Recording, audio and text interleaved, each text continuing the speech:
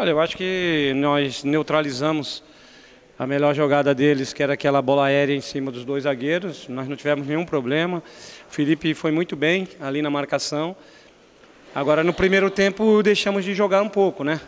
A marcação estava muito atrás e aí nós acertamos no vestiário, voltamos para o segundo tempo com uma marcação, uma pressão um pouquinho mais adiantada. Praticamente o segundo tempo todo o Botafogo foi que foi melhor no jogo. Jogou, teve chance para fazer o gol. E, claro, não podemos lamentar é, um empate contra o líder do campeonato hoje, né? Foi um, um, bom resultado fora de casa, mas com um pouquinho melhor de um pouquinho mais de sorte nós teríamos conseguido a vitória, até porque tivemos chance. O Guarani reclama é, no primeiro tempo ali de um lance de, de, falta dentro da grande área, né? Mas agora no final do, do, do segundo tempo, um lance claro de pênalti para o Botafogo. Como que você viu, já que foi próximo de você ali? Não, esse lance com certeza foi, foi pênalti. O jogador do Guarani levou a bola e não, não foi uma vez não, a bola bateu umas duas ou três vezes na mão do, do, do jogador. Então realmente foi pênalti. O primeiro tempo foi um lance duvidoso também. Não posso vir aqui e falar que não houve ou que houve. Foi um lance meio, é, meio duvidoso, mas foi realmente uma falha nossa. A bola era totalmente nossa no alto. Passamos da bola, teve alguns lances que a gente perdeu o tempo de, de, de bola, né, uma coisa meio estranha. E, e, aí culminou com esse lance aí de perigo do Guarani. Fora isso, não, não teve nenhuma outra chance do Guarani. Eu acho que as melhores chances foram do Botafogo no segundo tempo. Márcio, é, no Botafogo viveu um grande momento nesse segundo tempo, principalmente quando você abriu o Daniel ali pelo setor direito. A gente percebia que a jogada estava sendo por ali. Logo na sequência, você tirou o Daniel. É, você não esperava que, que, ainda, um poucos minutos depois, o Felipe voltasse a sentir? Não, isso foi que eu, eu conversei com, com o Felipe, porque essas coisas não podem acontecer, tem que me avisar, né? porque aí no caso eu não, não, não tiraria o Daniel. Como nós estávamos levando vantagem ali naquele setor, eu coloquei o Serginho. Né, para que a gente pudesse acrescentar mais ainda, porque o Daniel estava jogando num setor já um pouco mais na frente. Mas com, com o, o Felipe sentindo a contusão ou, ou, sentindo um cãibra, alguma coisa assim, se ele me fala, a gente só retardava o, o, Daniel e colocava o Serginho ali e ficava muito mais ofensivo. Né? Então, essas coisas é que às vezes é, acabam atrapalhando. Falei com ele que ele tinha que me falar, mas uma coisa assim que a gente tem que relevar, até porque ele não vinha jogando, né? entrou na equipe agora, mas foi muito bem no jogo. Você perde o alemão para a próxima partida. Naturalmente, Isaac já seria o substituto? Ah, vamos pensar, né? O Isaac é o eventual substituto do alemão. E se ele demonstrar dentro dos treinamentos que realmente está em condições de, de, de, nos representar bem, vai para o jogo. Mas vamos pensar com calma. Agora nós estamos acabando de sair de um jogo, um jogo realmente muito disputado. E eu acho que a gente tem que parar um pouco para pensar e ver realmente o que, que vai ser melhor. É difícil a gente precisar assim, porque até lá ainda falta muito tempo. No contexto geral, que análise você faz desse empate diante é, daquilo que pode acontecer na rodada? Olha, é, nós jogamos contra líder, o líder, do campeonato, né? Então, eu acho que o empate fora de casa não, não é um mau resultado. Mas criamos para conseguir a vitória. Isso que às vezes nos deixa um pouco é, a lamentar. Mas se formos olhar em termos de, de, de classificação, não. Eu acho que enfrentamos uma equipe também forte e temos que respeitar. Mas foi a melhor partida que o Botafogo, não só do Botafogo, mas também pelo adversário, fez nessa Série C? Você acha? Intensidade, qualidade técnica, você acha que foi a melhor partida das duas equipes até agora na competição? Não, acredito que não. Eu acho que o jogo contra o Juventude foi um jogo melhor que esse. A nossa equipe jogou o segundo tempo. Primeiro tempo, é, erramos muito passes, não saímos de trás. E segundo tempo mostramos uma postura diferente, marcando pressão no campo adversário. E aí sim o jogo, o segundo tempo, foi totalmente do Botafogo.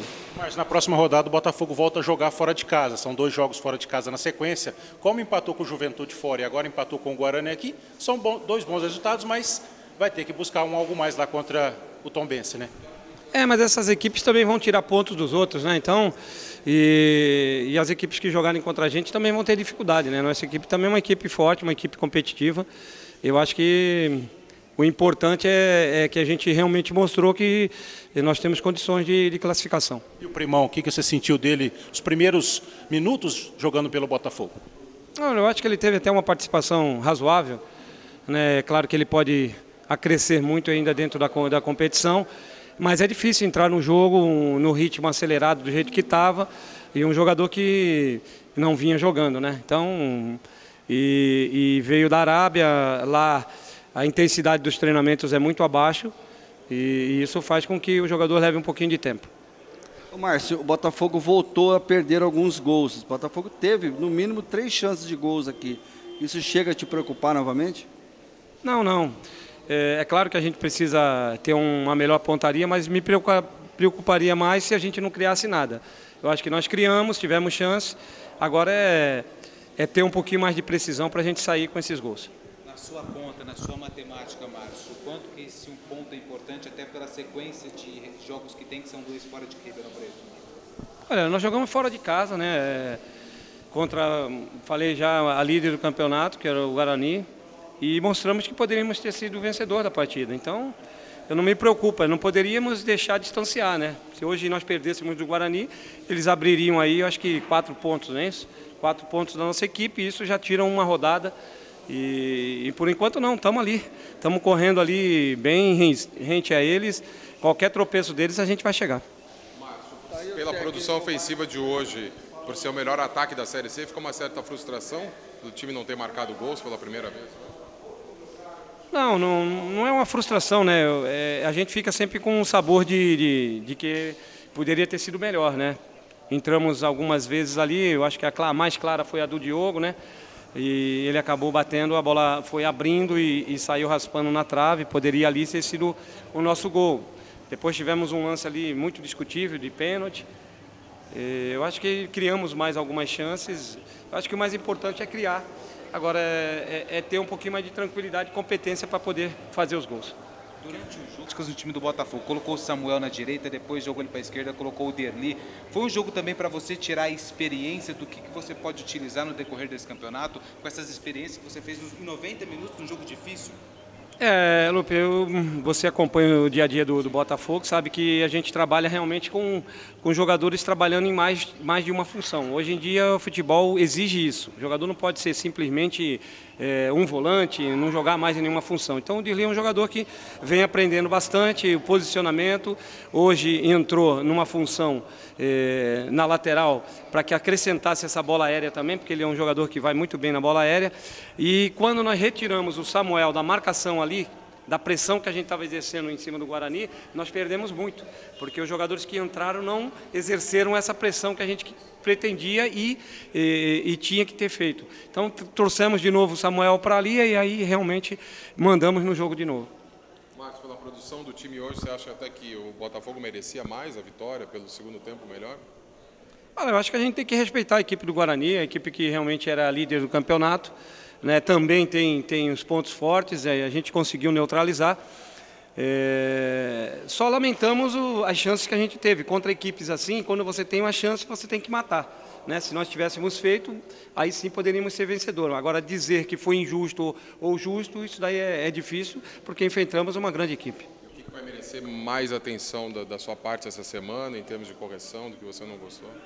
É, primeiro, o primeiro tempo não, não foi legal, né? Erramos muito passes e isso faz com que a nossa equipe não jogue.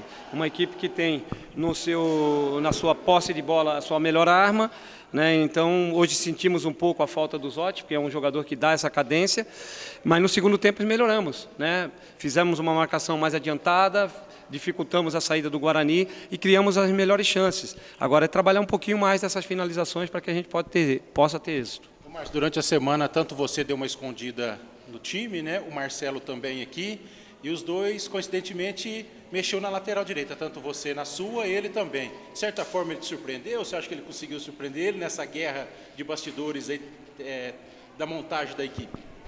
Não, eu tinha até passado para os jogadores, só que eu achava que ele vinha com o Auremir na lateral, né? Porque eu, pelo que eu conheço do Marcelo, ele sabia que a gente também tem um poder ofensivo muito grande e ele não podia correr esse risco. porque o Daniel, o Damião, é um jogador que tem muita qualidade, mas apoia mais do que marca. Então ele colocou um jogador ali para que pudesse neutralizar essa jogada. E eu coloquei o Felipe porque a jogada aérea deles também é boa e o Felipe é um jogador muito bom nessa bola aérea. Então eu acho que os dois treinadores trabalharam bem. E, e esse resultado de, de 0 a 0 é, veio realmente mostrar que é, a nossa equipe é competitiva e a deles também.